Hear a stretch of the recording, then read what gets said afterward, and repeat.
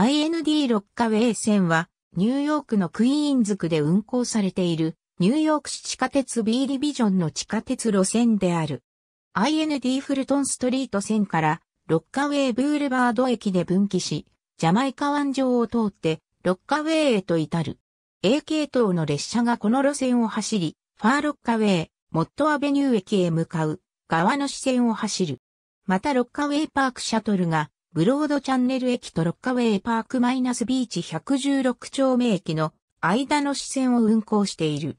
ラッシュ時の A 系統の列車5本がロッカウェイパークとマンハッタンの間を直通運行している。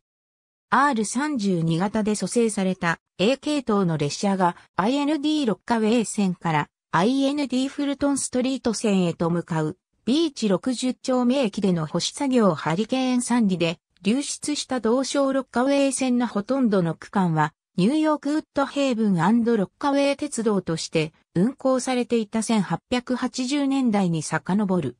ファーロッカウェイ駅は1869年からサウスサイドレールロードオブロングアイランドの駅として営業していた。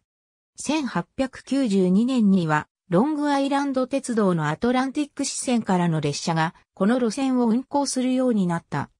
1890年代後半には、ブルックリン高架鉄道がブルックリンからの高架鉄道の列車をこの路線にビーチまで走らせる許可を得た。この路線の人気が高まるにつれて、ニューヨーク市は間もなくこの路線に注目するようになった。これに加えて、オーシャン電気鉄道がこの路線の一部をファーロッカウェイ支線とロッカウェイ支線の連絡線として利用するようになった。1950年にザ・ローント駅とブロードチャンネル駅の間で発生した大規模な線路火災事故により、ジャマイカ湾を横断するトレスする橋が壊れ、結果としてこの路線はもはや役に立たなくなったことが決定づけられることになった。ロングアイランド鉄道はファーロッカウェイからナッソー郡の側を回る地上ルートを選ぶことにして、この路線を修理せずに廃止することにした。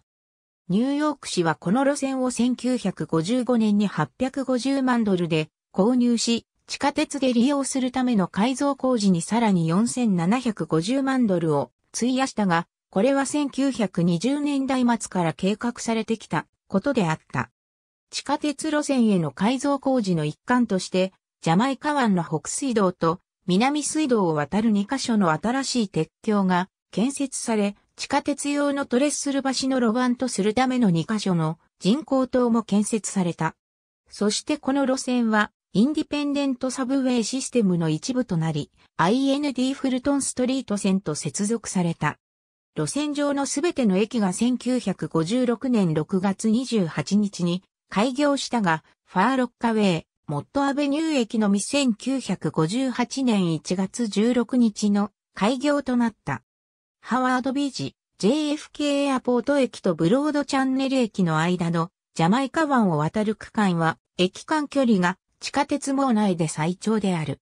ハワードビーチ駅より南では、かつては2倍の運賃が課されており、この区間で駅に入場する際にはトークンを2個入れる必要があり、また他の区間から来てこの区間で降りるときは、出る際にも1個のトークンを入れる必要があった。この2倍の運賃は不評で、1975年に廃止された。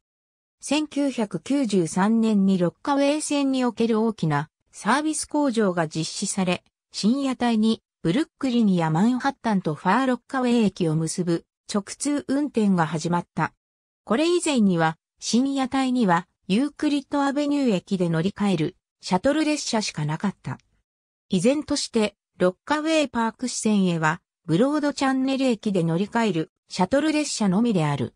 1990年代末にブロードチャンネル駅より北側に線路が追加された。この線路は当初の線路の西側に2マイル弱にわたって伸びており、設備の試験に用いられている。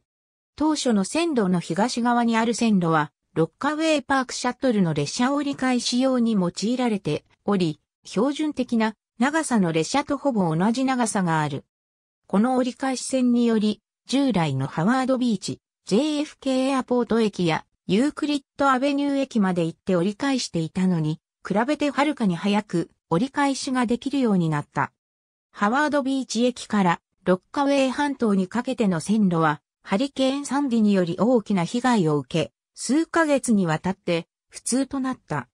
2012年11月20日にファーロッカウェイ、モットアベニュー駅とビーチ90丁目駅を結ぶ無料の H 系統の運行が開始され、2013年5月30日にすべての運行が再開された。W、EN、テンプレート、アタッチド KML、IND6 枚ラインウィキデータにある KML。ありがとうございます。